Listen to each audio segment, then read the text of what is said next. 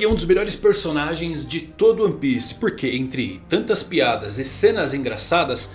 É notório como ele se parece em diversos aspectos com Barba Negra incorporando o verdadeiro espírito antigo da pirataria. Pegue tudo pra você, faça tudo por seu próprio interesse, sonhe, seja livre para moldar o seu próprio destino. Porque a sorte só ajuda os corajosos e finalmente o impossível aconteceu. Bug desperta e caminha para ser o próximo rei pirata. Então te pergunto, quer saber tudo sobre um dos episódios mais insanos de todo One Piece? Então se liga, eu vou falar nisso agora.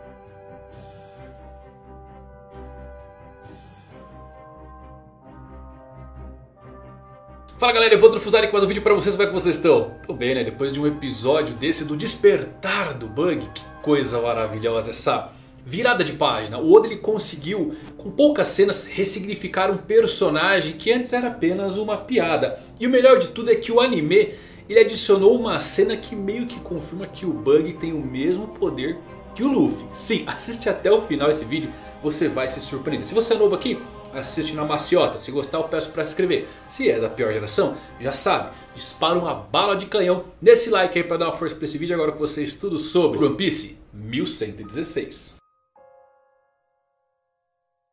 Então vamos lá meus amigos, nosso episódio começa com uma manchete do jornal anunciando a morte do Tibone. Ele foi morto por um cidadão que queria a recompensa que a Cross Guild ofereceu pelo marinheiro. Para quem não se lembra galera, o Tibone era chamado de cortador de navios e é um capitão da marinha. Ele lutou contra o Zoro lá no trem do mar. Tibone tem uma boa reputação entre os marinheiros por estar permanentemente estacionado no seu quartel general, a nova Marineford, ao qual ele se reporta diretamente sempre ao alto escalão. A última vez que vimos o Tibone foi quando ele recebeu ordens do Akainu de expulsar o Fugitora da Reverie.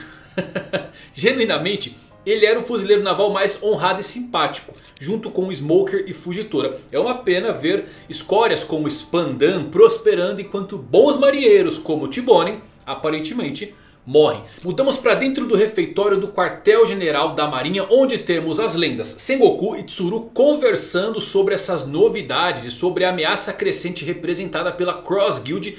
E uma conversa para lá de interessante. As pessoas que a marinha deveriam proteger agora se viram contra elas. Mas tudo isso porque os piratas não são os únicos interessados em dinheiro. Alguns reinos temos pessoas que estão literalmente morrendo de inanição. E isso é um contraste muito legal. O Oda está realmente tentando mostrar que a Cross Guild não está prestando um bom serviço ao mundo. Pois a primeira morte confirmada é o melhor e mais gentil marinheiro que tivemos na história. Assim como o Sengoku reforça que eles realmente são a força de manutenção da paz no mundo. Eles não são ruins, maus necessariamente. Eles são apenas a força antagonista contra o Luffy. Então a maioria das pessoas acaba torcendo contra os marinheiros ao mesmo ponto que Tsuru traz à tona algo mais realista. Os marinheiros não são como os piratas e estão presos à burocracia porque indiretamente os fuzileiros navais reforçam a vontade dos dragões celestiais e por isso temos pessoas morrendo de inanição. Eles mantêm a escravidão em andamento e destroem qualquer um que os toque. Eles estão cheios de discrepantes como Garp, Smoker, Fugitora com toda certeza. Mas a própria instituição acaba podre nas suas raízes e a culpa não é deles. E sim daqueles de cima, acima da marinha. Bom, Hina chega no local e Sengoku pergunta do Garp ao qual Hina informa que ele partiu alguns dias para salvar o Kobe junto da Sword e Dekujap. Essa linha aqui eu acho muito legal porque temos o Sengoku que deve ser o criador por trás da Sword, visto Corazon no passado que era um agente secreto como o Drake, que aliás foi resgatado da ilha Andorinha junto do Lau no navio da Tsuru e também a própria Tsuru que é a avó da Kujaku, todos estão ligados a Sword. E seria muito legal ver essas duas lendas, Sengoku e Tsuru se juntando às lutas dessa nova era. Pode anotar galera, seguimos aí para a base então da Cross Guild lá na ilha Karaibari. Vemos o Bug enviando o dinheiro da recompensa do marinheiro Tibone para a família do homem que o matou. O assassino de Tibone agora vai se juntar à Cross Guild e Bug o protegerá da marinha. E na sequência temos uma das melhores cenas do episódio. Vemos que o navio da Cross Guild foi construído. O Bug falou para Mihawk Crocodile que ele cuidaria do navio porque tinha carpinteiros. Mas... Para surpresa do Bug, eles fizeram um navio com a cabeça do Bug como figura de proa. e obviamente que o Crocodile e o Mihawk veio o navio e começam a bater no Bug novamente. Ambos não querem colocar os pés nesse navio. E então galera, temos bombas de informações. Crocodile quer usar a Cross Guild para completar Utopia, seu plano de criar uma nação de uma vez por todas. Ele está planejando construir a Utopia como uma nação militar que não pode ser ameaçada por nenhuma outra força. Mihawk lhe dá alguns conselhos, como a necessidade de acumular mais poder. E olha isso que legal galera, esse não é o sonho real do Crocodile. Pelo mangá, né, quem vê só anime acaba perdendo isso, temos as histórias de capas. E vemos o que aconteceu com os Baroque Works após Arabasta. Eles escapam da prisão, exceto por Crocodile e Mr. One. E vemos os seus sonhos ali galera. Mr. One queria ser um super-herói e o Crocodile queria ser o Rei Pirata. Até me arrepiei aqui. No entanto, pouco depois de ascender ao posto de Shichibukai em seus 20 e poucos anos. Ele acabou sofrendo uma derrota humilhante ao desafiar quem? Barba Branca. O que trouxe fim abrupto ao seu sonho de ser o rei dos piratas. E foi onde ele começou a perseguir Pluton. Ou seja, isso é algo ainda lá no fundo que ele enterrou por conta da sua derrota. E portanto seu objetivo em Arabasta, quando ele queria tomar a arma ancestral, era dominar todo o reino e desafiar o próprio governo mundial. Isso estava relacionado à sua aspiração também de se tornar o rei dos piratas. Ele queria fazer isso obtendo o maior poderio militar que o mundo já viu. Um navio capaz de destruir ilhas. Agora ele quer utopia para compensar a perda de Pluton. Mais legal que isso é que Crocodile quer ser rei dos piratas. Não só isso, você pegar a Cross Guild, você tem riqueza, fama e poder, todos unidos ali. Né? Você tem o Mihawk com o poder, o Crocodile que financiou tudo, a riqueza e o Bug com toda a fama. As três falas do rei dos piratas estão reunidos nessa tripulação. Só que o Bug, porém, é contra o plano utopia de Crocodile. Ele grita que não é isso que piratas de verdade fazem. Não é por isso que ele deixou sua vida para trás. E temos então um flashback sobre o Bug e o Shanks.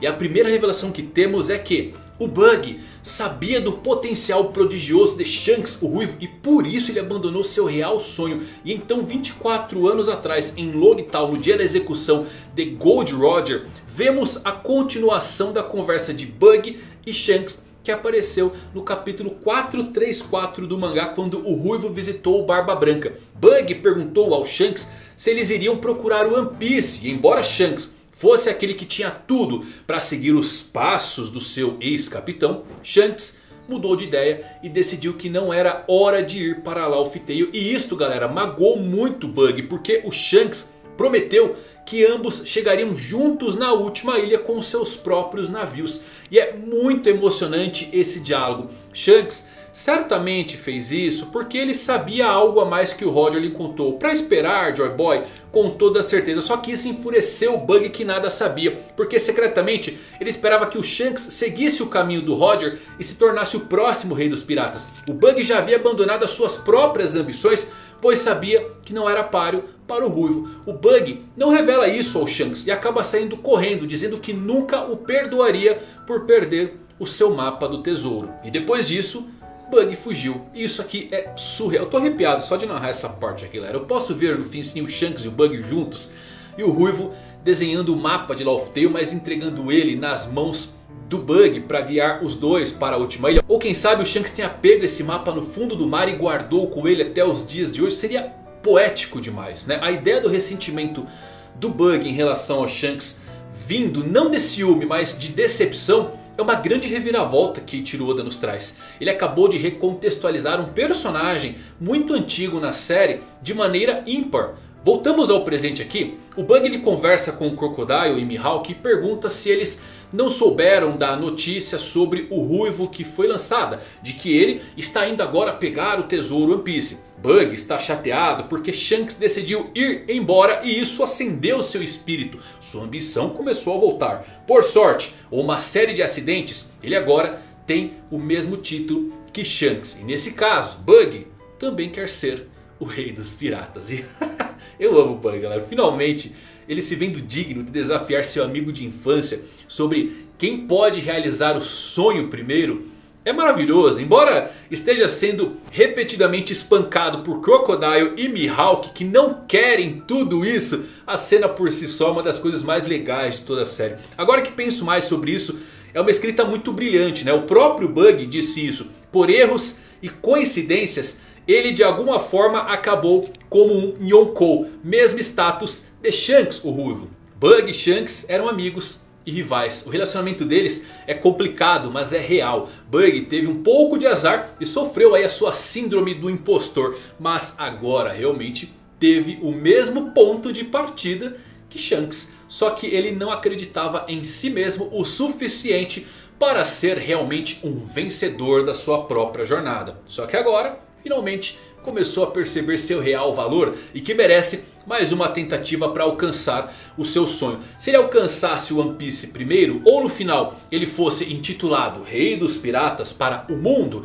Eu não ficaria bravo, vou ser sincero para vocês. Akuma no Mi e Haki são os dois lados da mesma moeda. Ambição e desejos. Quando Bug conseguiu a sua fruta, foi o seu destino. Shanks é a ambição, o Haki incorporado, enquanto Bug é o desejo, as frutas. Ambos carregando a vontade The Gold Roger. Bug grita isso em meio às lágrimas, enquanto Crocodile diz que a pirataria é um negócio e Mihawk se recusa a lutar contra os outros Yonkous sob ordens de Bug. Mas eles não precisam ser derrotados, tudo o que eles têm que fazer é pegar o tesouro primeiro. Bug então pega um microfone antes que Crocodile possa detê-lo e faz um discurso aos membros da Cross Guild. Vocês estão satisfeitos com suas vidas atuais? Vocês se lembram do motivo pelo qual zarparam pela primeira vez? Chegou o dia, vamos todos para o One Piece. E os membros da Cross Guild batem palmas e torcem pelo Bug. E aqui eu quero colocar um destaque que o anime adicionou galera. É uma pequena cena mas que olha acaba confirmando que o Bug ele tem o mesmo poder que o Luffy. O maior poder dos mares. Lembram que o Mihawk disse isso lá em Marineford? O Luffy tem o maior poder dos mares. Que é o de fazer as pessoas passarem para o seu lado. No momento que o Bug está gritando sobre pegar o tesouro One Piece. O anime ele coloca o mar em si, todo o oceano. E você vê uns feixes dourados se espalhando. Representando realmente o maior poder dos mares. Chegando nessas pessoas e inspirando elas a irem atrás do tesouro One Piece. Apesar do Bug ser um personagem gag, um personagem é, tipo Mr. Satan, engraçado, no momento certo, sempre no lugar certo. Ele tem esse poder do Luffy de fazer as pessoas passar para o seu lado. E é por isso que ele consegue tantas coisas. Não à toa, ele agora é um Yonkou com Mihawk e Crocodile do seu lado. Que por mais que não queiram fazer as coisas que o Bug diz, acabam cedendo. Por quê? O maior poder dos mares. E eu gosto muito dessa pequena cena que o anime adicionou, praticamente confirmando que sim, o Bug tem o mesmo poder que o Luffy. Mas Crocodile e Mihawk, claro, ficam em choque com essas palavras e ao mesmo tempo com muita raiva. Quando Oda disse que seria uma batalha real pelo tesouro One Piece, ele estava falando sério. E agora temos todos os quatro Yonkou em movimento e indo em direção ao tesouro One Piece. Eu gosto que o Bug nunca decepciona, né? Ele está agindo agora realmente como um catalisador para que Mihawk e Crocodile finalmente se movam e entrem também na caça ao tesouro. E inclusive o Bug deve saber a localização de todos os poliglifes além do quarto faltante que está com o Homem das Marcas de Queimaduras. E realisticamente Zou, One e Holy Cake não serão páreo para Mihawk e Crocodile entrando e apenas pegando as gravuras dos poneglyphs fora Pluton que está em Wano. Temos ainda, se lembrem disso daqui, o tesouro do Capitão John que eu sempre achei que poderia ser o último Road Poneglyph. Mas agora com o homem marcado pelas chamas em jogo, pode ser uma outra coisa. Né? Quem sabe também seja um tripulante do John, mas... E se o tesouro do Capitão John for um mapa? O mapa da localização para Laugh Tale que Roger usou. E mais ainda, poderia quem sabe ser o mapa que o Bug achou no convés do Ouro Jackson, mas perdeu no mar. Imagine se o Capitão John achou o mapa do Bug e o escondeu. Essa aqui é uma teoria muito legal que eu gosto bastante sobre o que é o tesouro do Capitão John. O mapa para Laugh Tale feito pelos piratas Roger e que o Bug deixou cair no mar quando brincou ali com o Shanks. Sendo sincero, sempre foi emocionante ver os piratas do Rui fazendo suas aparições pelo anime. Mas agora essa mesma emoção acaba sendo substituída pela criação da Cross Guild, especialmente com as interações dos três antigos Chichibukais. Lau e Kid estão fora do jogo. Os jogadores finais para a corrida pelo Tesouro One Piece estão definidos. Luffy, Shanks, Barba Negra e Bug. Os quatro imperadores como sempre deveria ser. Não há mais um impasse entre eles. Bom, passamos para o reino de Kamabaka e vemos quatro comandantes do exército revolucionário muito entusiasmados porque alguém estava chegando. Era Sabo que voltou são e salvo. Eles nos revelam que o Sabo não estava realmente no reino de Lulúzia quando a ilha foi obliterada. Sabo estava em um navio com diversos cidadãos de Lulúzia que queriam se juntar ao exército revolucionário. E isso vai muito de encontro com a cena da destruição ao qual já havíamos teorizado que o Sabo não estava em Lulúzia pela perspectiva que ele estava utilizando. Parecia que ele via as luzes laterais e não vindo de cima. Bom, Sabo entra então na sala de reunião com Dragon e Ivankov e diz que vai contar toda a verdade sobre o que aconteceu em Mary Joyce. Apertem os cintos porque agora as coisas vão esquentar pelo anime. Sim, muitas revelações aí sobre as três notícias que abalaram o mundo. Galera, esse episódio é insana. A Cross Guild sem dúvidas é a coisa mais engraçada que o Oda introduziu nesse ponto da história. Ter Crocodile tão chateado com a existência do bug e espancá-lo uma e outra vez é uma piada pelo qual eu estou aqui. Mas sem dúvidas a parte mais importante e emocionante desse episódio, eu diria até mesmo desses pontos aqui de One Piece, realmente é entender porque o Bug parecia não ter uma ambição de obter o tesouro One Piece. Ele estava tão confiante que o Shanks se tornaria o próximo rei pirata que ele nem tentou obtê-lo sozinho. E depois do Ruivo dizer que não queria ir atrás do tesouro naquele momento, Bug ficou ressentido com tudo isso. Também explica porque o Bug acaba sendo tão fraco e parece nunca ficar mais forte do que quando ele era criança. Ele basicamente desistiu desde o início, mas agora ele despertou meus amigos. Por sorte, destino e uma série de acidentes, eu gostaria que sim, o Bug se tornasse rei dos piratas, pelo menos aos olhos do mundo. Muito legal, né? Esse episódio.